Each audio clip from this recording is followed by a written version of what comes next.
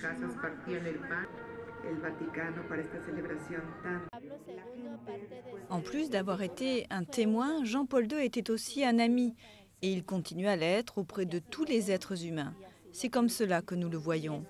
C'est un plaisir de pouvoir dire je veux être comme lui et aussi merci pape Jean-Paul II pour nous montrer le chemin.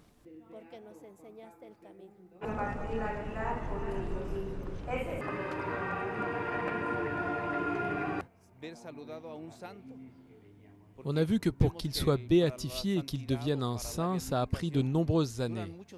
Et penser que nous avions devant nous, dans nos mains, quelqu'un à qui parler, un saint qui maintenant est auprès de Dieu et qui intercède en notre faveur, eh bien c'est quelque chose de merveilleux.